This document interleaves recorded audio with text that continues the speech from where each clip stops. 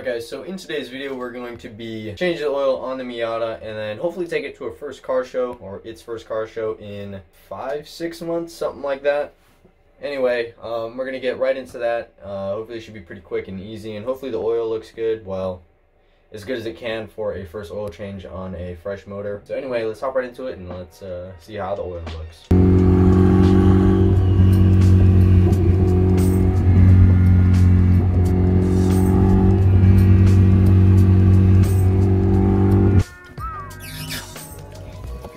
Some oil.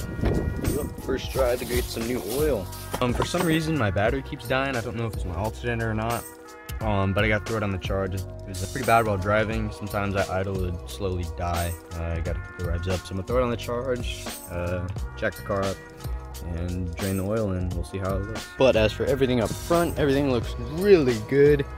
Pull the oil cap off, fresh. Everything is oiled, and that is a good thing. Alright, in case you guys are wondering, I am going to be using the K&N filter and some Supertech conventional oil. Just in case you're wondering, I mean, it's simple stuff, cheap. That's what you're supposed to use when you're breaking a motor. Um, anyway, let's just get right into it. I've been uh, dragging this on long enough, so let's uh, take that oil out and see how it looks. Whoa, look at all the metallics in that. It's not even brown or black. There's a lot of metallics in that guy. That's crazy. First oil change a new motor. Alright, so there is the oil filter. As you can see, the oil is very grayish in color. I don't really know if you can see the metallics in it, but I don't know if I told you, but I did end up putting some zinc additive into it. I don't know if it's good or bad, bad for the rings. I don't know, we'll find out. Um, I didn't see anything or read anything that's bad. I know most break-in oils use a lot of zinc additive to protect the engine. Um, as you can see in there, there is a ton of metallics, which is to be expected. Oh, oh, oh spilled onto my hand. Oh, what the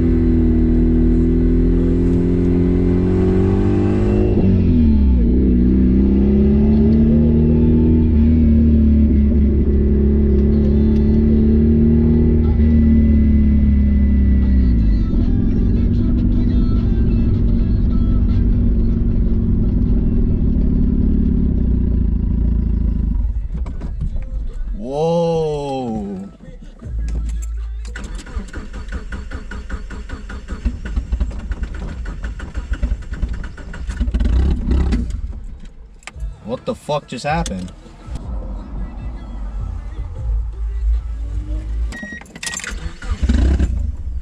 Oh, fuck you. Oh, shit! Well, as you can see, that is all fuel right there. Um, my fuel line disconnected for some reason, and that's what uh, you saw spray out.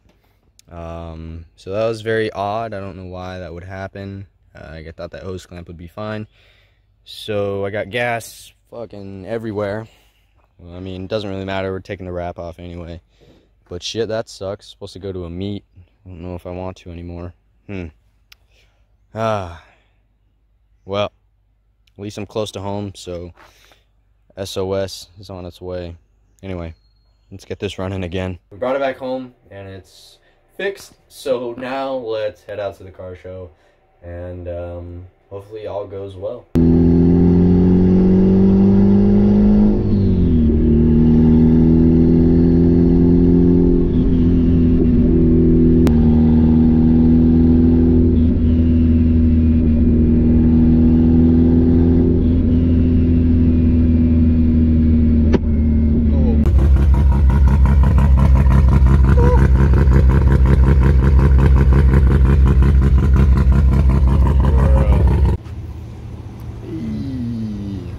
Less.